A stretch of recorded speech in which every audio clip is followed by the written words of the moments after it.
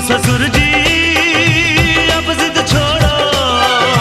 सुनो ससुर जी, अब जिद छोड़ो, मान मेरी बात। दुल्हन तो जाएगी